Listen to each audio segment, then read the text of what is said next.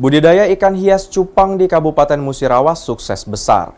Berhasil menembus pasar internasional padahal pemasarannya hanya ditawarkan melalui media sosial atau medsos saja.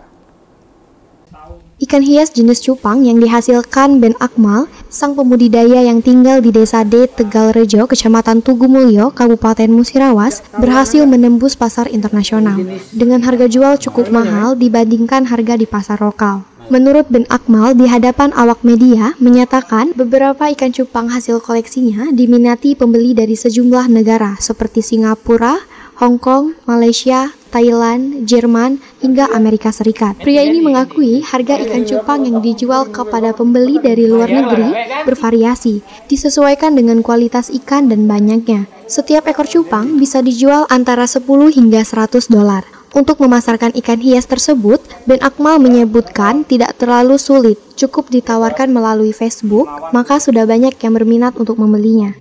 Permintaan multicolor dari lokal sini juga banyak, dari Indonesia Nusantara lah, hmm. itu juga banyak. Wong luar juga banyak yang minat sama multicolor. Mungkin karena perpaduan warna yang banyak tadi kan bisa sampai tujuh warna, empat warna, lima warna. Terus istilahnya tidak bosenin mungkin itu. Sejauh ini pernah jual di mana kalau untuk luar negeri? Kalau untuk luar negeri Asia, Eropa. Kalau di Asia tuh pernah saya kirim ke Hong Kong pernah, ke Singapura pernah, ke Malaysia pernah, ke Thailand pun pernah kalau di Asia. Kalau Eropa, Prancis, itu kemudian Jerman yang sering itu Amerika, yang paling rutin kirim Amerika gitu. Hmm.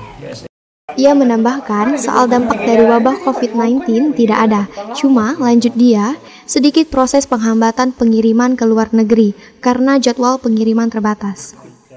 Laporan tim Silampari TV. tinggal ngambil di Facebook aku Tapi ya lain.